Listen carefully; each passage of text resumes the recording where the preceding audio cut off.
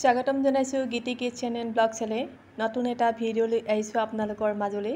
এয়া মই ব্ৰইলাৰ মাংস বনাম। ব্ৰইলাৰ মাংস লৈছোঁ মই আধা কেজি নহৰু আদা বটা পিচি লৈছোঁ আৰু তিনিটা ডাঙৰ চাইজৰ পিঁয়াজ কুটি লৈছোঁ দুটা আলু আৰু ইয়াতে লৈছোঁ শুকান জলকীয়া তিনিটা মিট মছলা ধনিয়া জিৰা কাশ্মীৰ ৰং বাদাম পিচা ৰঙা বাদাম আৰু আঠ দহটামান কিচমিচ এটুকুৰা ডালচেনি তেজপাত আঠ দহটামান নৰসিংহ পাত আৰু আধা ফাল পিঁয়াজ মই ডাঙৰ ডাঙৰকৈ পতাটো উলিয়াই লৈছোঁ। এতিয়া মই মাংসখিনি মঠি ল'ম। মঠাৰ আগতে মই গৰম পানী আৰু অকণমান নিমখ দি ভালকৈ মাংসটো ধুই লৈছিলোঁ। এনেকুৱা কৰিলে ব্ৰইলাৰটো কেতিয়াও গোন্ধ নোলায়। আৰু স্কিনটো মই গুচাই লৈছোঁ স্কিন মই কেতিয়াও নিদিওঁ মাংসত এৰুৱাই লওঁ। আৰু ইয়াতে মই যিখিনি মছলা দিব লাগে সেই গোটেই মছলাখিনি দি মই এতিয়া ভালকৈ মঠি আধা ঘণ্টামানৰ কাৰণে ৰেষ্ট দিম। এয়া। ভিডিঅ'টো প্ৰথমৰ পৰা শেষলৈকে চাবলৈ ৰিকুৱেষ্ট কৰিছোঁ আৰু যদি ভাল লাগে তেনেহ'লে লাইক কৰিব।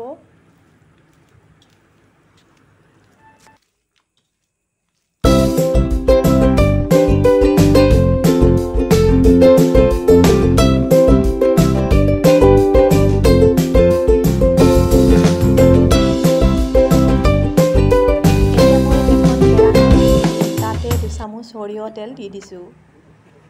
এই সৰিয়হ তেলখিনি গৰম হোৱাৰ লগে লগে মই আলু ফ্ৰাই কৰি ল'ম অলপ ৰঙচুৱা হোৱালৈকে ভাজি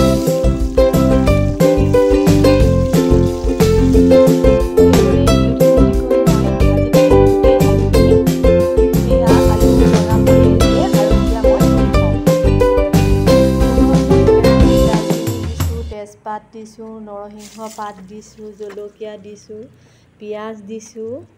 নহৰু আদা বটা বাদাম জিৰা ধনিয়া গোটেইখিনি মছলা মই আগতেই ৰেডি কৰি থোৱা দি দিলোঁ আৰু লগত মাংসখিনি ঢালি মই এতিয়া লৰাই আছোঁ। চাই থাকিব ভিডিঅ'টো আৰু ইনগ্ৰিডিয়েণ্টছ মিলাবলৈ আছে।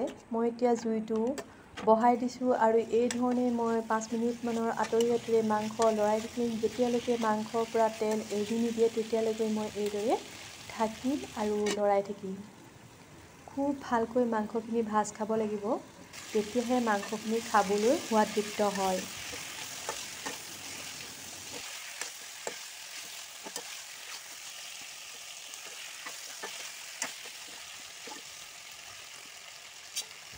এইদৰে মই পোন্ধৰ বিছ মিনিটমান সময় ভাজি থাকিম এনেকৈয়ে এতিয়া মই পিঁয়াজৰ টুকুৰাকেইটা দি দিছোঁ যিকেইটা মই পতাটো উলিয়াই লৈছিলোঁ। এয়া চাওকচোন মাংসখিনি কালাৰটো কি ধুনীয়া হৈছে। নিশ্চয় আপোনালোকেও ভালেই পাইছে দেখি। গতিকে লৈ কমেণ্টত জনাব কেনেকুৱা পাইছে আৰু যদি ভাল লাগিছে তেনেহ'লে আপোনাৰ ছয়জন আৰু বন্ধু বান্ধৱীসকলৰ মাজত শ্বেয়াৰ কৰি দিব। আৰু যিসকল নতুনকৈ চাইছে সেইসকলে মোৰ চেনেলটো ছাবস্ক্ৰাইব কৰি ল'ব। লগতে কাষত থকা বেল আইকনটো দবাই দিব। তেতিয়ালৈ মই নতুন ভিডিঅ' দি আপলোড কৰিলে আপোনালোকৰ স্ক্ৰীণত দেখিবলৈ পাব। এতিয়া মই ইয়াতে দুচামুচ টমাটো চচ মিলাই দিছোঁ। এই টমাটো চচ দিলে শাকখিনি খাবলৈ সঁচাকৈ বহুত সোৱাদ হয়। এয়া দিছোঁ। আৰু আছে চাই থাকিব। ইয়াতে মই এতিয়া মিলাম কৰ্ণফ্ল'ৰ আৰু এই কৰ্ণফ্ল'ৰ মই সৰু চামুচেৰে আধা চামুচমান তিনি চাৰি চামুচমান পানীত গুলি পানী দি দিম। আৰু দি দিয়াৰ লগে লগে শাকৰ বৰণটি সঁচাকৈ বেলেগ হৈ যাব। চাই থাকিব। এয়া দেখিছেনে? জোলটো অলপ পাতল হৈ আছে আৰু যেতিয়াই মই দি দিম জোলটো ডাঠ হৈ যাব আৰু কালাৰটো ধুনীয়া হৈ আহিব।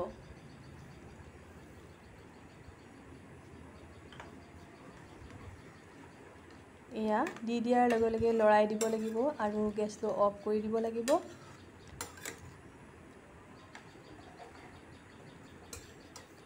ভিডিঅ'টো প্ৰথমৰ পৰা শেষলৈকে চোৱাৰ বাবে বহুত বহুত ধন্যবাদ জনাইছোঁ। আৰু এয়া দেখিছেনে? কেনেকুৱা দেখিছে বাৰু? এতিয়া এই মাংসখিনি ভাতৰ লগত ৰুটিৰ লগত পৰঠাৰ লগত যিহৰ লগতেই খাওক লাগে সঁচাকৈ বহুত টেষ্টি হয়। খাবলৈ বনাই খাবচোন মই বনোৱাৰ দৰে। আৰু যদি ভাল পায় কমেণ্টত জনাব। তেনেহ'লে আজিলৈ আহোঁ। বাই বাই পুনৰ লগ পাম নতুন এটা ভিডিঅ' লৈ